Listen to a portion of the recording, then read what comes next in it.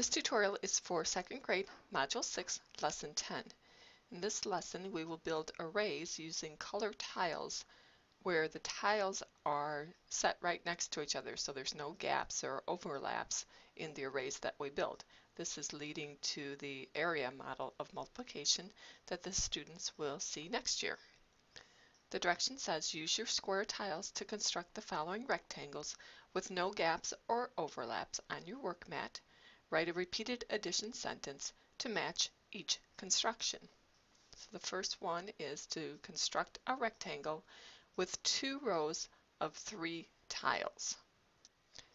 And this is what that rectangle would look like. I have two rows and there's three tiles in each row.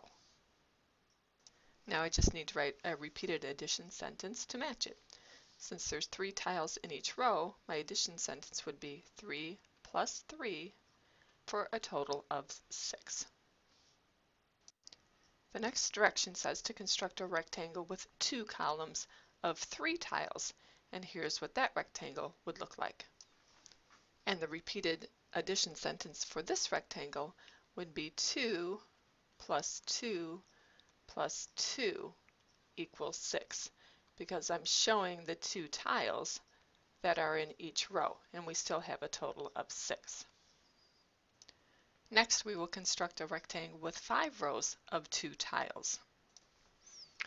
And the repeated addition equation for this rectangle would be 2 plus 2 plus 2 plus 2 plus 2 because I have five rows of 2 and my total then would be 10. 2, 4, 6, 8, 10 squares in all. When we construct a rectangle with five columns of two tiles, we'll basically take that last rectangle and turn it on its side. That means the repeated addition problem for this rectangle would be 5 plus 5 equals 10 because there are five squares in each row. The next question says to construct a rectangle of nine tiles so that the rows are the same size as the columns. So we need the same number of tiles in each row as we have in each column. And this rectangle would meet those requirements. We have our nine tiles, we have three in each row, and we have three in each column. You'll also notice that this shape is a square, and of course a square is a special type of rectangle. The repeated addition problem would be 3 plus 3 plus 3 equals 9. The next question is showing us an array and it first asks what shape is the array pictured below. So we would say it is a rectangle.